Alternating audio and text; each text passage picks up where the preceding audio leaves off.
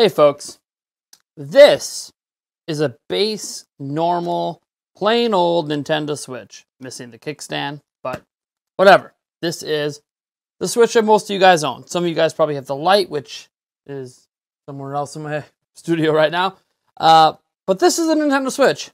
And this is a Switch OLED. Now, that might look like just a still image of a Switch OLED, but actually we do have full video of an unboxing for you of an American, a US uh, Nintendo Switch OLED. We also have various images showing comparisons and one small video clip uh, showing direct Mario Kart 8 comparisons at max brightness. Now, we're going to talk about this in a moment here and how I got all this footage. Uh, but before I do, I want to remind you we are giving away a Switch OLED. So, yes, folks, we're actually giving away one of these things that we're looking at today. In fact, the white version, you know, like the one shown in today's video. Uh, if you want to enter, you just got to subscribe to the channel. Otherwise, show up to a live stream we're doing this Friday.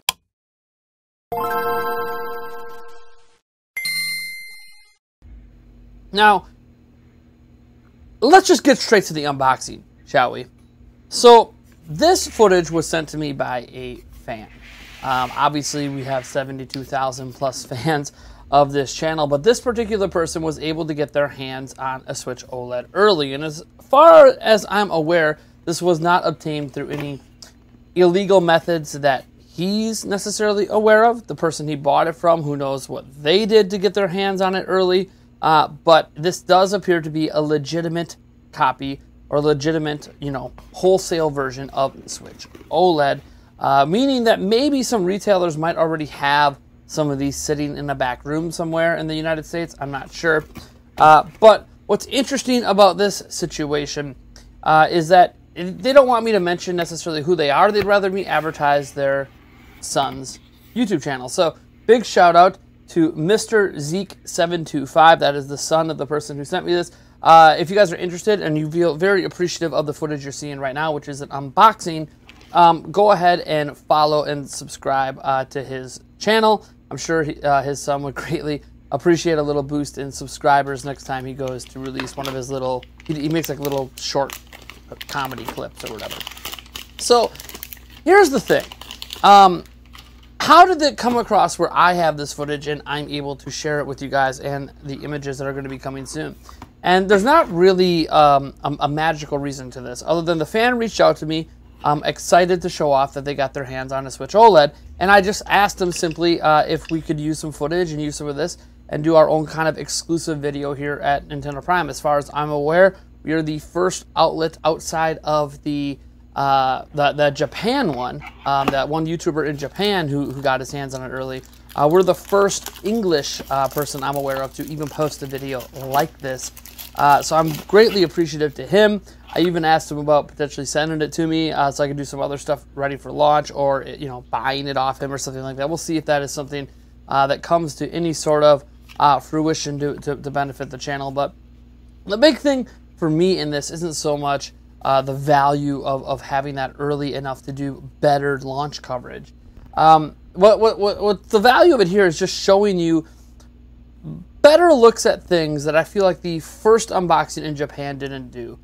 Um, things like how it actually compares at max brightness. This was something I actually had to explain to him how to do because not, not, not, everyone knows that you could set your switch to max brightness. Most people just leave it on auto and it'll adjust based on your lighting, and that's fine for most people. But the reason I wanted him to turn on max brightness is because, in theory, the OLED panel should be brighter than the old panel. But that's not necessarily true. It depends on what the you know the, the overall max brightness of that screen is. There are actually bad OLED panels where they're true OLED, but the max brightness is so low that it ends up not really mattering. And as you're going to see here in a moment in some footage, uh, yeah, it's quite a bit brighter. Uh, and there, there's an image of here like FIFA uh, and a couple other games and um, some close-ups on the dock. We'll get to that in a moment. But I find it to just be utterly fascinating that uh, that's just the way that this is designed um, to be just that much brighter and that much more vibrant. And another thing that obviously stands out is, you know, I wasn't so sure that seven inch screen size was going to uh, be much of a difference, but when you see it right next to the uh, normal Nintendo Switch, damn, like damn, it's definitely significantly bigger in terms of screen real estate. And again, Mario Kart 8 might not be the best game, and this is not my ultimate comparison. Uh, I have a comparison where I'm going to be tearing apart the system, tearing apart the dock, and thankfully the dock does look like it's pretty easy to take apart. You do need um, a tri-wing screwdriver, which I have all of the tools here to do all that. So, um, and the, the dock looks double layered. I find that interesting. There's like a vent, and then there's like a pseudo layer and another vent. I'm, I'm very curious about that. Also, uh, something I noticed, and he sent me images of this. There's these slits along the bottom, and these slits uh, are, seem to be, at least to me, he was telling me that he felt like that was where the speakers were, but the slits are almost too wide to me to be anything of note in terms of speakers. I think these are actually air intakes. Um, and that mesh there happens to just be like a dust filter, right? You don't want to be sucking a bunch of dust into the system. Uh, that's what I think they are. They could very well be speaker grills. It's just speaker grills usually aren't that wide on a platform like this. In fact, we've seen them where they're as little as just a little tiny dot.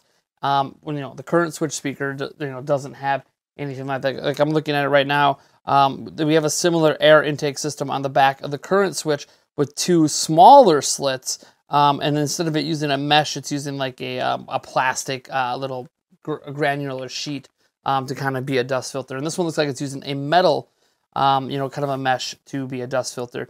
Uh, what's interesting though is he's only had this for a short while, and already it looks like the mesh is dented. He's not even sure how that happened, if it was just going in and out of the dock, or you know what what, what happened. Because he said he's very careful with his systems, uh, but it, it, could have also just came out of the box that way. Um, that's something to to note. But those definitely look like some hefty air intakes, and it's two of them, just like it is on the current switch. Uh, so very interested to see, um, you know, if they've changed the cooling inside the Switch OLED at all. And we'll find that out on my ultimate comparison that should be going out day one. Uh, so yeah, so I am curious to see if there's any cooling changes. Did they change the fan? Did they change the location of the fan? Location of the heat pipes? Are they using a completely different board set up on the inside? Or is this literally just what's already in the current Switch slapped uh, uh, in a new body with a, the bigger screen and that's it? Um, nothing else has changed. We know the chipset's the same and there shouldn't be any speed differences. We do know the memory module should be bigger and we should be able to show that to you guys when we tear it apart. But uh, yeah, we, we can't know uh, until we tear it apart what else has changed. Um, it doesn't give us a good look at the kickstand. Obviously, we see one angle where the kickstand is kicked up and you can see where the SD card goes in. Um, that's all fine and dandy. Uh, I, I, I kind of hate those angled, like slotting in SD card slots like that, but they do work and they are on other devices. I would have preferred if they would have kept it on the bottom personally. Uh, but again, they had the, such those long slits for cooling. They clearly wanted to put the SD card reader somewhere else. So we already know there's going to be a slightly different configuration, at least for that SD card reader, uh, compared to the old Switch. But yeah, it's it, it, the, the kickstand obviously looks like it's massive, of course, which we should expect that it takes up like two thirds of the back of the Switch. Um, and it definitely has a nice indentation in the Switch. So the Switch definitely only feels flush when it's closed, which it should feel flush, obviously, in that in that scenario. Um, but yeah, th- there's just a lot that we could digest here. Um, but mostly it's just taking a look at stuff. It is nice to actually see the LAN port up close. Um, I can't tell from these screenshots. It looks like it's wired for one gig, but it's so hard to tell from these kind of shots until we actually take it apart and see if that's actually a full gig uh, LAN port. I really hope it is. I really hope they're not running it through USB 2.0. It would make no sense to include one natively on it and have it run through USB 2.0. It should, in theory, be directly connected to the board, which is a very good sign that it's going to be at least 1 gigs, which is bog standard and has been standard for quite some time. USB 2.0 is not capable of those kind of speeds, so it should actually be a more a much more stable connection, especially if you're doing game streaming, let alone gaming online. It should be a much more stable connection through the dock. Um, that being said, obviously I'm very curious about that dock design. It is different on the back compared to the current dock um, with that double layer kind of thing. The air vents, notably, or what we used to call air vents, because we had those two slits on the original dock, aren't even located where, where where you would take an air. Like it takes an air from the bottom, supposedly. So what are those air vents doing on the back? I I'm very curious if it's like a, the air goes it flows in through the back and then da- down through the bottom and up through the switch. I'm very curious how that airflow structure is. And again, that is something we'll find out when we tear apart the dock.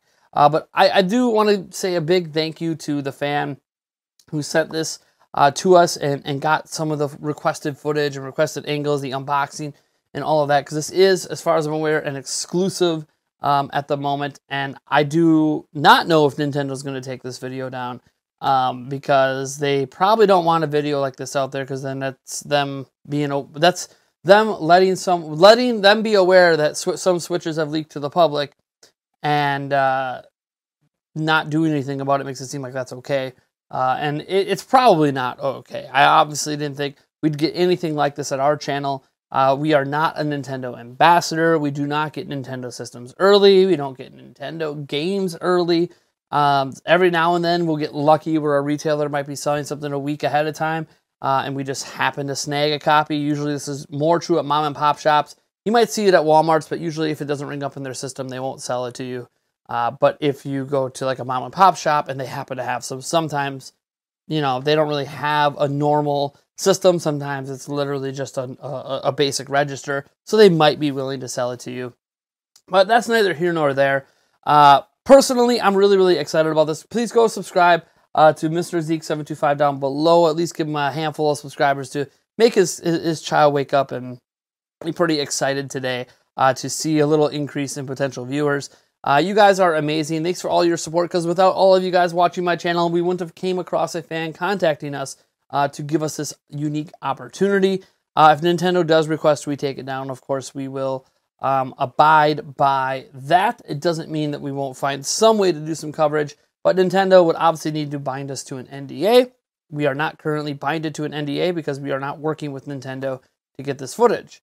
This is just a retail unit that came out to the public. And I find what's funny about this, if Nintendo does end up giving a crap, is uh, this this is more advertising for the Switch OLED than Nintendo's done themselves since they announced it. Notice how Nintendo has didn't even talk about it in the direct. It's almost like they're acting as if the Switch OLED doesn't exist. It's weird, right? Very weird. So, if nothing else, they should leave this up because it's good advertising for their platform. It actually makes it look good against this current Switch and gives people a reason to potentially want to upgrade. Anyways, uh, I'm Nathaniel RoboJants from Nintendo Prime. Oh, one last note. I thought this was weird. On the back of the dock, it just pops off. That, that, that cover that you put in your uh, HDMI cable, your power cord, and your Ethernet, uh, it just pops off. It's not a hinge. On the current one, it's a hinge. This one literally just comes off. It just pops right off. We saw that on the Japanese video. But the difference with that was because we don't speak that language natively, we weren't sure if he just did that by accident and it was supposed to be a hinge. Um, and maybe he explains that and I just don't understand Japanese. But now we know there is no hinge. It literally just pops right off, which can be a little bit scary at first because you might assume you broke it. Uh, but it definitely just slots in on the bottom and then pops back in. Um, very interesting design like that. I feel like that design's not going to last as long as a hinge. Then again, maybe the hinges weren't lasting very well. I don't know. I don't my hinges haven't broke yet. I got two different docks at my house. Um, none of the hinges are broken, but maybe that's just something uh, that has been a concern, uh, and they figured that this is a more secure way to attach it. Uh, beats me, but uh, that is a, a, change that Nintendo obviously never talked about. Uh, is changing how that back plate opens. Anyways, folks, I am Nathaniel RoboJants from Nintendo Prime. Thank you so much for tuning in. I'll catch you in the next video.